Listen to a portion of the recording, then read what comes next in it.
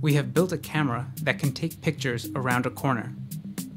With an ultra-fast flash and high-speed camera, and new computational methods, our system can analyze scattered and reflected light.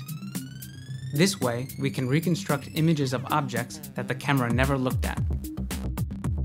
We have created a new form of photography, femtophotography, that allows us to look around corners and beyond the line of sight. And the idea is to use extremely high-speed cameras and light sources that can exploit multiple bounces of light. Femtosecond lasers have been limited to small-scale scientific experiments, but now they can be used for photography. Consider this toy mannequin.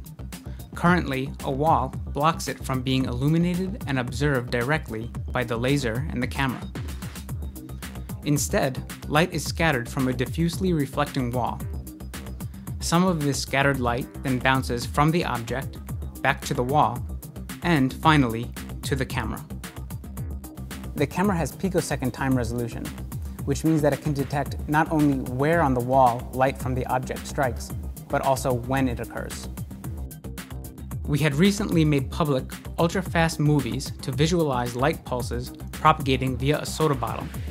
Although that was for a direct view, the time dimension also plays a very important role when we want to analyze light scattered from objects around corners. With this additional information, we can computationally reconstruct the image of the hidden object. The underlying technique is similar to filtered back projection used in tomography.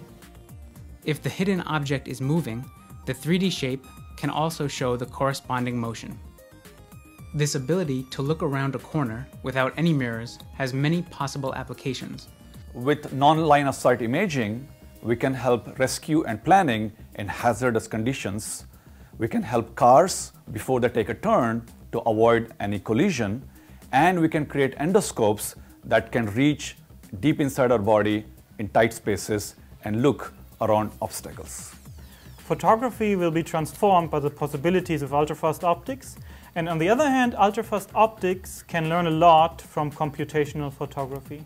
This is made possible by co-developing high-end optical hardware and novel signal processing. It represents only the first step towards full integration of these two fields. We expect that future work will demonstrate additional abilities.